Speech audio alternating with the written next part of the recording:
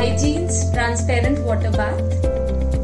Here it is the controller of the water bath. This is the main switch. Here this is the heating rod and this is the temperature sensor. So it comes with a sample holder. You have to place it in here like this. So now switch this on using the switch over here.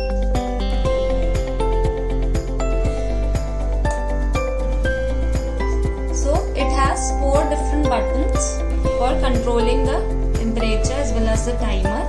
So you have to press the set button once it goes to the temperature setting.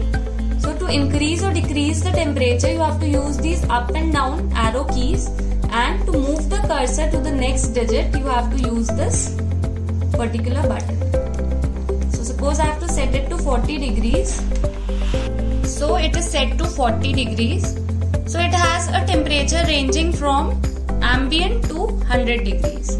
So to set the time you have to again press the set button. So it goes to timer setting and you again have to use these two up and down arrow keys for increasing or decreasing the time.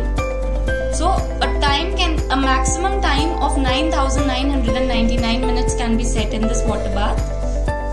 So to set this you again have to press the set button. So now this here indicates that the set program is in working and this here indicates the heating output. This here is for the high temperature alarm and this here is the indicator for the low water.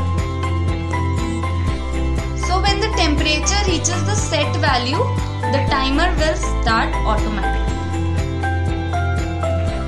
So after completion of the time, it displays end and gives a beep sound. So this is how iGene's transparent water bath works.